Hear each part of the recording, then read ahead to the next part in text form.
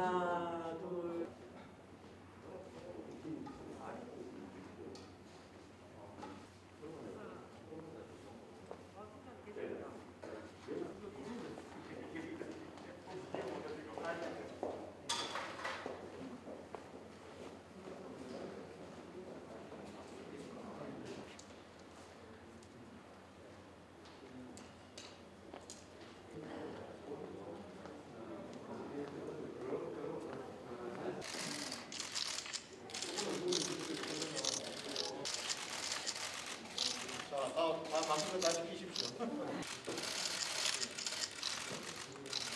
대구 화이팅!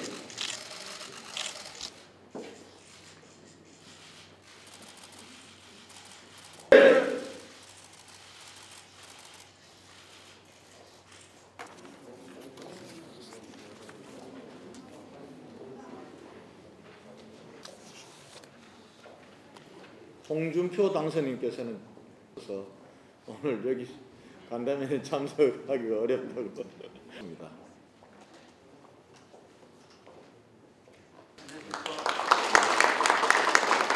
이승호 경제부 시장입니다. 이상백 최웅백 경제국장입니다. 신태경 감사관입니다. 대변인입니다. 양민철 일할 분들이어서 일일이 소개를 올렸습니다. 어, 드리겠습니다.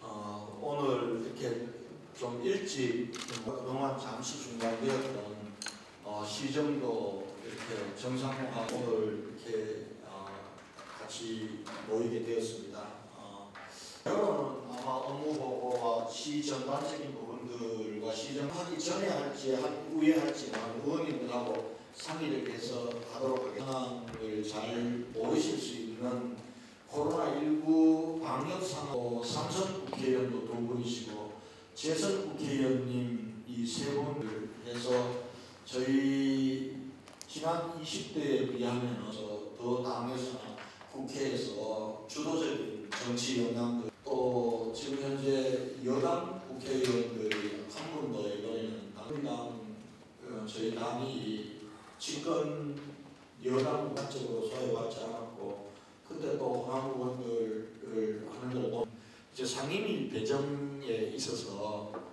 저희 지역에 부서가 있습니다. 예를 들면 통합신공항을 우리가 잠시 이 부분들은 국방위원회에서 중심이 돼서 다루게 되어 있습니다. 아, 그 감염병 전문병원과 감염병 연구소를 우리가 좋은 여건이 되었습니다. 또 우리에게는 맑고 개- 지금 보건복지위원회가 중심이 되어 있습니다. 그래서 문제와 관련해서는 한노위원회가 상임위입니다. 어, 먼저 의무보고에 앞서 제21대 국회의원 당선인의 제일 먼저 조호영 당선인의 말씀을 듣겠습니다. 우리 지역의 문제, 대구의 문제를 같이 고민해서 어, 효과적으로 문제 해결을 하고 일자라고 훌륭했다는 평가를 들을 수 있도록 같이 노력하도록 하십시다.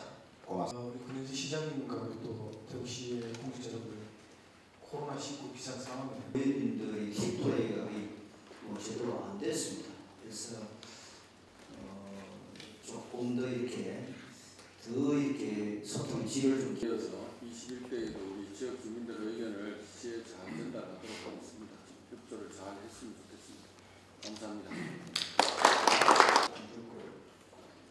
앞으로 예산이나 또 될 것 같습니다. 어, 저는 어, 시장과 이 계신 같은 우리 시국장님 어, 부탁을 좀 말씀을 좀 많이 좀 드리겠습니다. 앞으로도 많이 좀 도와주시기 친구들은 조선이 판매 제일 많죠. 그래서 조선도 이런 지도를 부탁드리고 저도 열심히 하겠습니다. 감사합니다.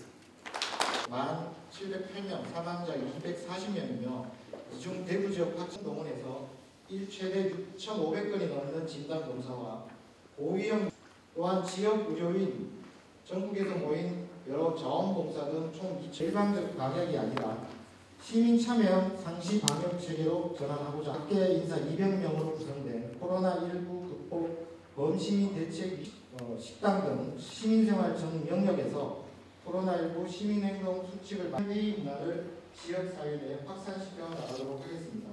사회 전파를 선제적으로 예방적으로 차단해 나가겠습니다. 이 전문가들이 우려하고 있는 2차 재유행에 대비해서 정부의 지원, 긴급 생계자금 지원을 통해 현재 13만 7천, 7천 소상공인 사회적 거리 소상공인과 사회적 거리두기 참여 업종 대상 수에 14,000건을 지급 대상으로 확정하였습니다.